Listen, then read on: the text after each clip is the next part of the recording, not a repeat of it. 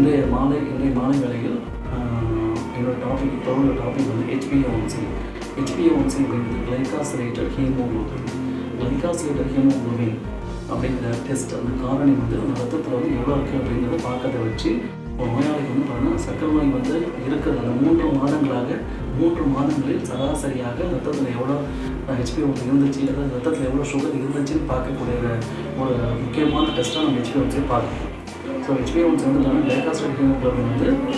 நார்மலாக அதாவது American diabetes association ATA அவங்க என்ன சொல்கிறாங்க அப்படின்னு சொன்னால் நார்மலாக அஞ்சு புள்ளி ஏழு அஞ்சு புள்ளி ஏழுக்கு கீழே இருந்தால் சுகர் இல்லாதவங்க அப்படின்னு அர்த்தம். அதாவது நார்மலாக ரத்தத்தில் நம்ம பார்க்குறோம் பார்க்குறப்போ வந்து உங்களுக்கு வந்து normal level five below five point seven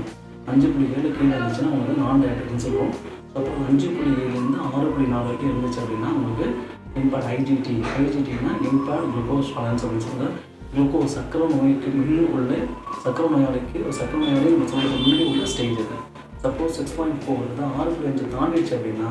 அந்த நோயாளிக்கு வந்து பார்த்தீங்கன்னா சர்க்கரை நோய் சர்க்கரை நோய் உள்ள ஒரு நோயாளி அப்படின்னு நம்ம கண்டுபிடிக்கும் கண்டிப்பாக உண்டு ஸோ அஞ்சு புள்ளி கீழே இருந்துச்சு அப்படின்னா நார்மல் உங்களுக்கு சக்கரை நோய் இல்லை அப்படின்னு அர்த்தம். சப்போஸ் வந்து அஞ்சு புள்ளி ஏழுலேருந்து ஆறு புள்ளி நாலு புள்ளி இருந்துச்சு அப்படின்னா சர்க்கரை நோய்க்கு முன்னாடி உள்ள ஸ்டேஜ் அப்படின்னு அர்த்தம். சப்போஸ் அஞ்சுக்கு மேலே இருந்துச்சுன்னா அவங்களுக்கு வந்து சுகர் கன்ஃபார்மாக இருக்குது அப்படின்னு அர்த்தம் ஸோ இந்த எக்ஸ்பீரியன்ஸ் வந்து எப்பப்பெல்லாம் பண்ணலாம் அப்படின்னா எக்ஸ்பீரியன்ஸ் வந்து மூன்று மாதங்களுக்கு ஒரு முறை பண்ணாலும் போதுமானது